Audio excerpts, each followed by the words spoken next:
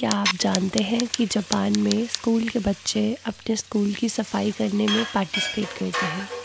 वो क्लासरूम को साफ़ करते हैं रेस्ट रूम को साफ़ करते हैं हॉलवेज को साफ़ करते हैं एवरी सिंगल डे और कई बार उनके टीचर्स भी उनका साथ देते हैं। वो ऐसे क्यों करते हैं?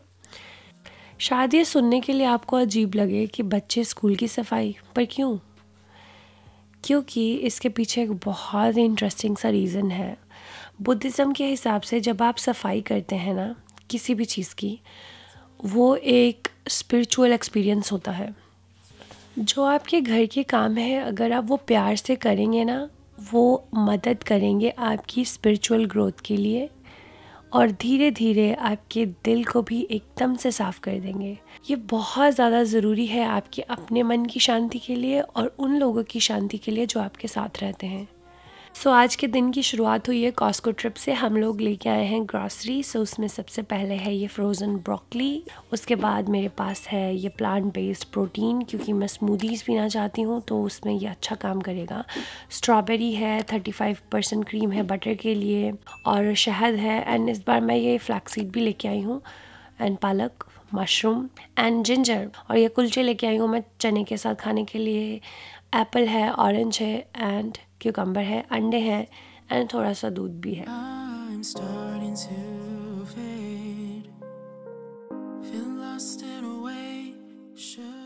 गुड मॉर्निंग प्यारे दोस्तों कैसे हाल चाल है आपकी? उम्मीद है कि आप लोग बहुत ज़्यादा अच्छे होंगे। आज मैं बहुत ज़्यादा खुश हूँ। उसकी वजह ये है कि आज वन वीक पास हो गया है मेरी फास्टिंग का जब मैं सिक्सटीन आवर की फास्टिंग कर रही हूँ। वैसे हमेशा से ही हम लोग कम खाने की कोशिश में रहते हैं। एक ही मील खाते हैं अच्छा गुड पूरे दिन में। पर अब मैं सोच के सिक्सटीन आवर तक चाय भी नहीं पीती हूँ। सुबह उठ के सिर्फ़ मैं नींबू पानी पी लेती हूँ या फिर एप्पल साइडर विनेगर या फिर कोई भी गर्म पानी। एंड उसके बाद मैं चाय भी अराउंड साढ़े बारह के करीब पीती हूँ। और डिनर की हमारी कोशिश होती है कि हम लोग साढ़े छः बजे तक डिनर कर लें। मैक्सिमम साढ़े सात तक हमारा मील हो जाना चाहिए।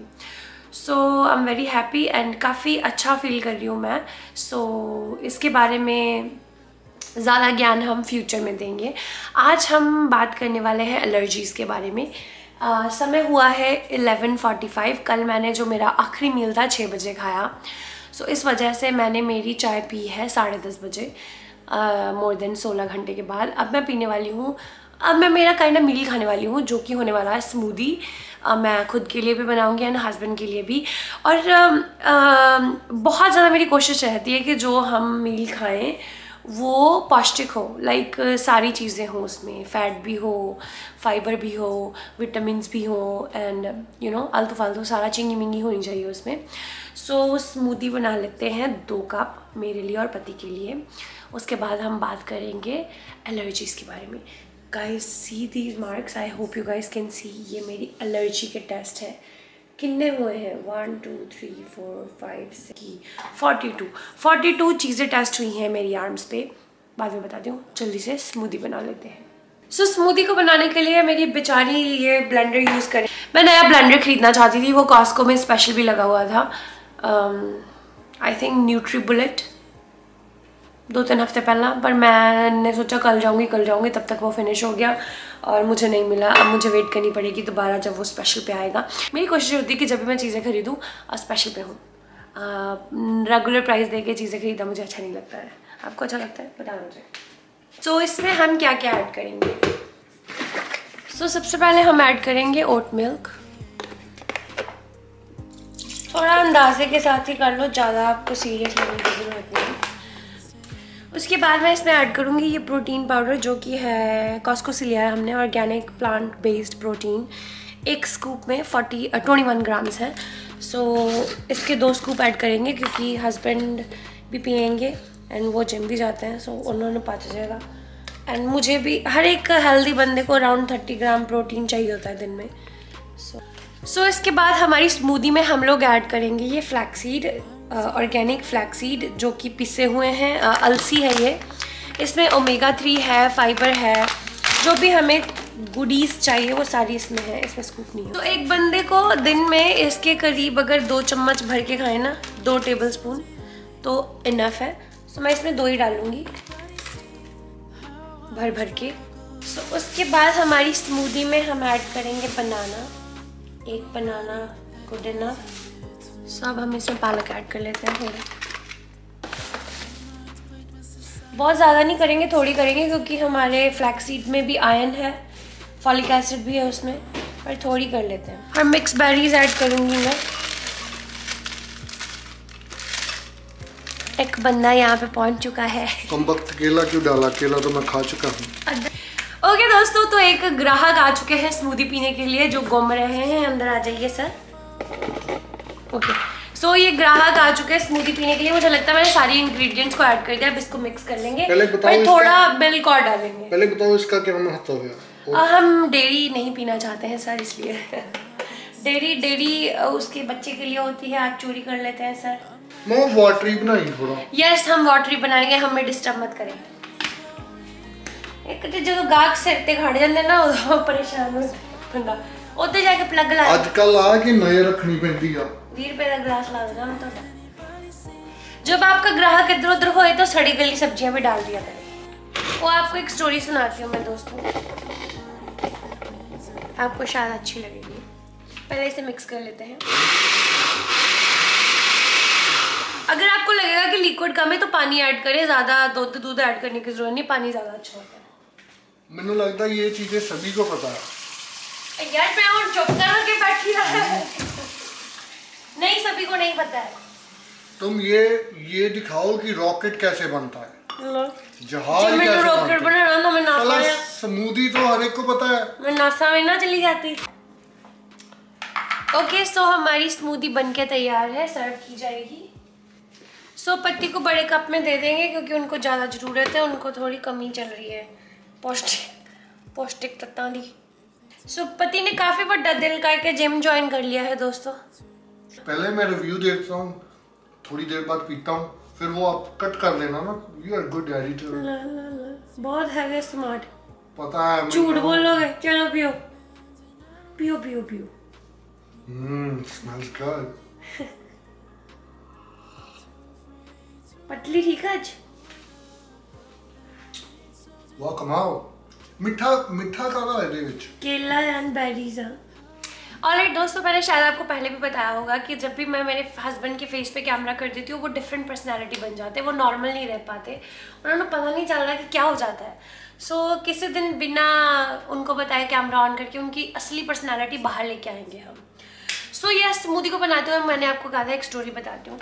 सो so, हम लोग हम आ, इंडिया में सिटी में रहते हैं। तो हमारे जो शहर है उसके पास बहुत सारे गाँव लगते हैं।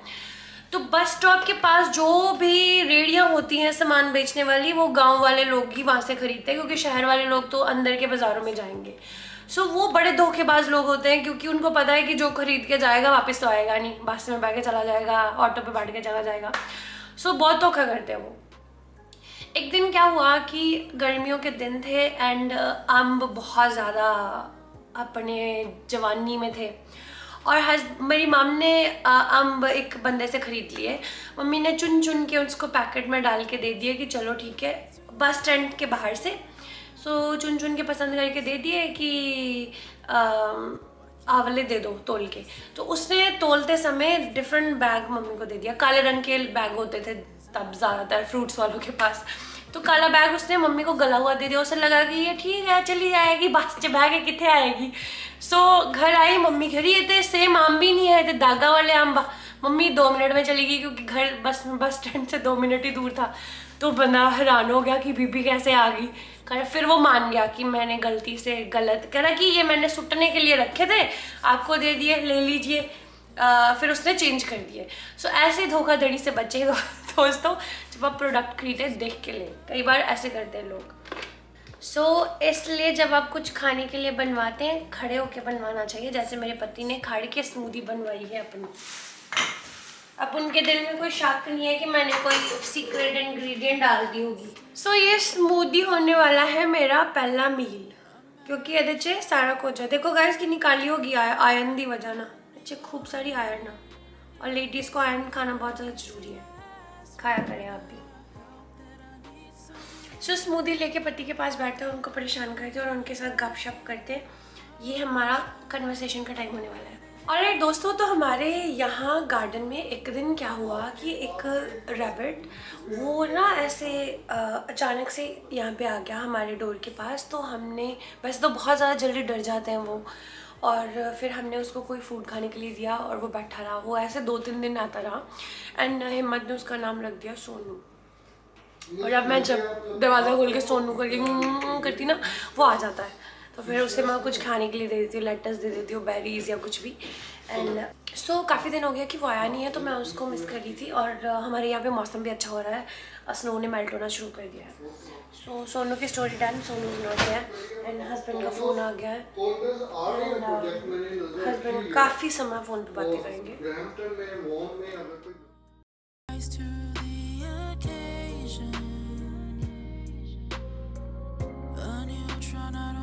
Subtract to anything. Situation, there's a spark of hope,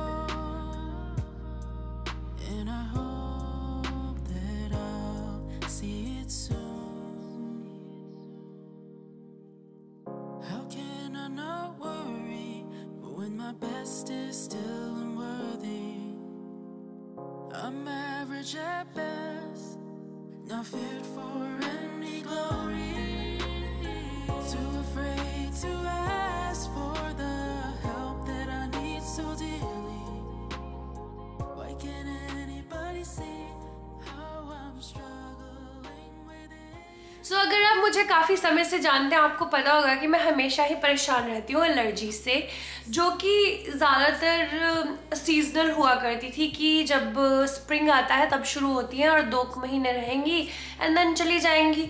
वो भी अगर मैं काउंटर से दवाई ख़रीद लूँ ना लाइक जो फार्मेसी बाहर ही पड़ी होती है, उससे वो ठीक हो जाती थी। पर पिछले साल से ऐसा हुआ कि वो दवाई ने काम करना बंद कर दिया। फिर मैं डॉक्टर के पास गई प्रिस्क्रिप्शन ले लिया मैंने एलर्जी का। एंड उसने भी महीना की काम किया फिर वो ना नहीं काम कर रही और एलर्जीज़ का ऐसा है कि सारा साल ही रहने लगी मेरी एलर्जी एंड uh, बहुत ज़्यादा पानी निकलता है मेरे नोज़ से। आप यकीन नहीं मानेंगे कि मेरी हालत कितनी ख़राब हो जाती है। स्पेशली जब मैं रोटी बनाती हूँ ना ऐसे ऐसे करके वो आटा भी मेरी नोज़ में चला जाता है और uh, पानी आँखों से निकलता है नोज़ से स्नीज़ होता है। हर टाइम मुझे नोज़ क्लीन करने के लिए आना पड़ता है। रोटी बनाना बहुत मुश्किल था मेरे लिए। और मुझे लगा कि शायद मुझे ग्लूटन से भी एलर्जी है कि जिसकी वजह से ये हो रहा है। सो so, हम गए एलर्जी टेस्ट कराने के लिए कल मैं गई थी। And I think forty two different चीज़ें उसने टेस्ट की डॉक्टर ने मुझ पर वीडियो uh, नहीं बना पाई मैं ज़्यादा बट आप ये पिक्चर देख सकते हैं। ये सारे मार्क्स हैं ना जो रेड रेड ये डिफरेंट चीज़ें हैं। सो so, वो क्या करते हैं कि मार्क्स बना देते हैं आपकी uh, आपकी आर्म पे। क्लीन करके। फिर वो जो प्रोडक्ट है लाइक बिल्ली का, वो ऐसे लिक्विड आपके स्किन पे रख देते हैं एंड देन सुई से शेक कर देते हैं आपकी स्किन में। थोड़ा पेनफुल होता है।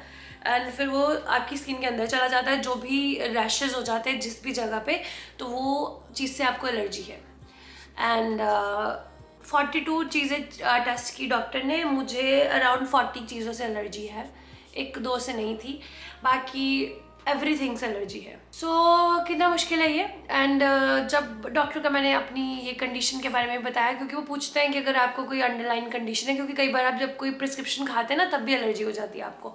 सो so, जब मैंने उसे बताया कि मुझे रूमोटाइड आर्थराइटिस है तो वो कह रही कि उसकी वजह से ज़्यादा एक्टिव हो गया है तुम्हारा इम्यून सिस्टम कि पहले सिर्फ़ सीजनल था अब वो सारा टाइम उसको लगता है कि कुछ डेंजर है डेंजर है, वो बेचारा तुम्हें बचाने की कोशिश में ओवर एक्टिव हो गया है, जिसके लिए वो बहुत ज़्यादा चीज़ें नहीं कर सकते हैं। पर वो कह रही कि स्प्रे करो नोज़ में या फिर प्रिस्क्रिप्शन खा सकती हूँ। और डॉक्टर कह रही कि इंजेक्शन वाला कोर्स कर लो तुम। पता नहीं, पाँच साल चलेगा वो कोर्स उसमें हर हफ़्ते इंजेक्शन लगेगा। और पहले हफ़्ते हफ़्ते लगेगा, कुछ मंथ तक, फिर महीने में लगेगा, फिर एवरी ईयर लगेगा। आई थिंक फाइव ईयर का है वो. एंड नहीं इंजेक्शन नहीं लगवा सकती हूँ मैं. सो so, मैं कोई देसी तरीका ढूंढूँगी खुद ही हील करने का या कुछ आयुर्वेदिक करूँगी या कुछ इंजेक्शन वाला प्रोग्राम में मैं मना कर दिया कि मैं नहीं करूँगी. सो या ये है एलर्जीज़ के बारे में इंफॉर्मेशन कि I am allergic to everything it's exciting it's very sad और जब मैंने हिम्मत को बताया कि मैं एलर्जी को सब चीज़ों से करा कि तुम तो मुझसे एलर्जिक तो नहीं हो। ओ एक्चुअली या डॉक्टर को जब मैंने बताया कि जब मैं रोटी बनाती हूँ तब भी मुझे बहुत ज़्यादा स्नीज होता है कि मुझे ग्लूटेन की एलर्जी तो नहीं है। वो कह रही कि जब आपको फ़ूड की एलर्जी होती है ना फ़ूड की किसी आइटम से तो उसके सिम्टम बिल्कुल डिफरेंट होते हैं। वो आपके नोज़ पे सिम्टम नहीं आते लाइक पानी नहीं निकलता है नोज़ से। सो so, तुम्हें कोई फ़ूड की एलर्जी नहीं है तुम्हें सिर्फ़ इन्वायरमेंटल एलर्जीज़ हैं। सो so, जो भी चीज़ें हवा में उड़ रही हैं उन सारी चीज़ों से ऑलमोस्ट है। वो बेशक डस्ट हो ग्रास हो पॉलन हो कुछ भी हो जो हवा में है उन चीज़ों से है। तो आई होप आपको ये एलर्जी वाली इन्फॉर्मेशन जान के अच्छा लगा होगा। अच्छा लगने वाली कोई बात है नहीं वैसे।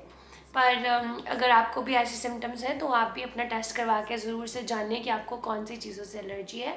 उनसे अपना बचाव रखें, घर को साफ़ रखें। कई बार होता है कि आपको किसी पेट से एलर्जी है और आप फिर वो पेट मत रखें। लाइक मुझे बिल्ली से एलर्जी है बहुत ज़्यादा। वो कह रही कि सबसे ज़्यादा मुझे बिल्ली से है डस्ट से भी ज़्यादा। एंड वैसे बिल्लियों, बिल्लियाँ वैसे ही मुझे पसंद नहीं है। अगर मुझे कभी रखनी भी पड़े तो मैं बिल्ली रखना कभी पसंद नहीं करूँगी। सो अब एक और बहाना है मेरे पास कि हम बिल्ली नहीं रख सकते। सो या दैट्स इट तो यार ये जब मैं एलर्जी टेस्ट करवा रही थी तो मैंने स्टोरी डाली थी इंस्टाग्राम पे। बहुत सारे दोस्तों को लगा कि मुझे हाइव्स हो गया है या मुझे कोई रैशेज हो गया बेचारे चिंतित हो गए कितने सारे मैसेजेस आए। सो so, वो मुझे कोई एलर्जी नहीं हुई थी वो टेस्ट हो रहा था इसलिए वो हर जगह रैश था। अभी भी मेरे आर्म पे मार के वो सारे। सो so, यार दोस्तों ये इन्फॉर्मेशन देने के लिए आई थी मैं आज। आपको आई होप ये वीडियो अच्छी लगी होगी। अगर लगी है तो प्लीज़ मेरे चैनल को सब्सक्राइब करें और मेरे साथ कनेक्ट रहें। मुझे मेरे सोशल मीडिया पे फॉलो कर सकते हैं इंस्टाग्राम पे मैसेजेस कर सकते हैं। मुझे आपसे बातें करना बहुत अच्छा लगता है। मैं मिलूँगी नए वीडियो में। तब तक के लिए अपना ख्याल रखें और बिल्कुल मत भूलें दोस्तों। You guys a beautiful the way you are stay happy confident and strong you guys can do any I love you, I love you, I love you. I love you.